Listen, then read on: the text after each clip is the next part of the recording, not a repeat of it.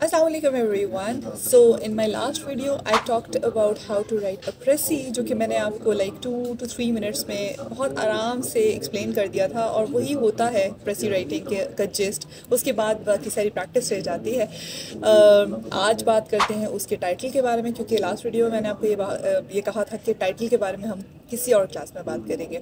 Now when it comes to giving a title to your precis title पाँच marks का होता है which means it is quite important title अगर आप ठीक देंगे तो आपको थ्री फोर मार्क्स मिल जाएँगे और अगर टाइटल ही गलत होगा that means you are going to get zero और फिर आपको फिफ्टीन में से मार्क्स मिलेंगे, जो कि सिर्फ़ प्रेसी के मार्क्स ही होंगे। फिर डिपेंड करता है कि आपने प्रेसी कितनी अच्छी लिखी होगी।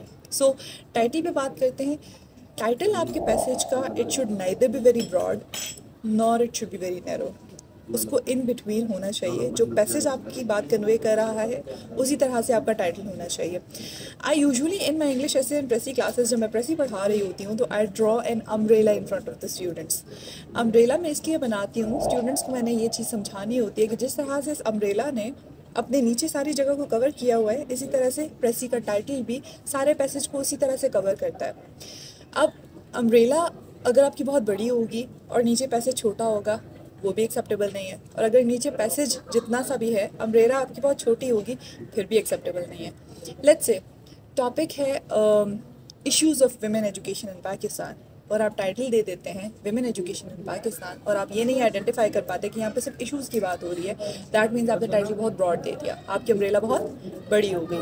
और अगर इसी को आपने ये टाइटल दे दिया कि social issues of women education in Pakistan क्योंकि पैसेज में इस चीज़ का भी ज़िक्र था कि कुछ सोशल टैबूज़ हैं वीमेन एजुकेशन के साथ और आपने उसी को ज़्यादा फोकस दे दिया। दैट मीन्स आपकी अम्ब्रेला बहुत छोटी हो गई। तो that is also not acceptable तो वॉट इज़ एक्सेप्टेबल इज़ कि आपको हर एक चीज़ जो पैसेज में गिवन है, जो पैसेज के यूजली दो से तीन पैराग्राफ्स होते हैं, उनमें जिस जिस चीज़ पे ज़्यादा फोकस किया गया है, वो ब्रॉडली किस अम्ब्रेला के अंडर फिट होते हैं। वही अम्ब्रेला उठा के आपने as a title of your precis दे देना है।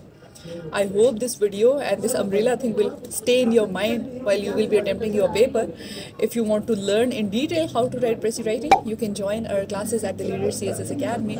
Um, the numbers are shown here. The address is shown here if you are in Rawalpindi. So that was all about the title of pressy writing. Inshallah, in the next video, I'll be sharing some other details about some other topic related to CSS English essay or pressy.